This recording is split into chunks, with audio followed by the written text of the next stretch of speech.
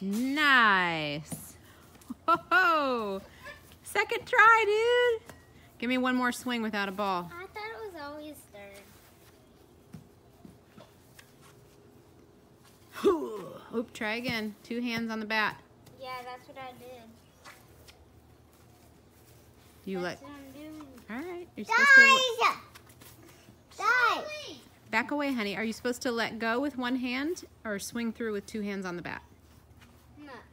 You come in, you can you can let go when you're past this half. Is that what you just watched in that presentation? Or are you making stuff up?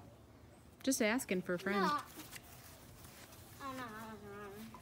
Keep two hands on the bat. There you go. That's what I'm talking about.